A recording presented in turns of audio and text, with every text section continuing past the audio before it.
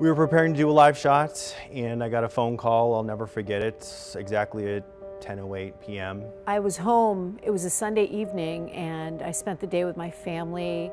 As soon as he said there was something going down at Mandalay Bay, I got a lump in my throat. I could hear through the phone what was going on in the scanners. I could hear gunshots.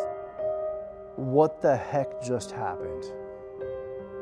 Is this really going on? I just remember seeing the alerts on my phone and thinking, no way, no way is this happening. And all of a sudden, I got a call from my best girlfriend, and she said, Oh my God, something's happened, something's bad. And I heard the, the panic. Um, I was staying at my mother's house and she rushed into the room. The fear. And all she said was, There's a guy shooting off Mandalay Bay. And it was, it was terrifying.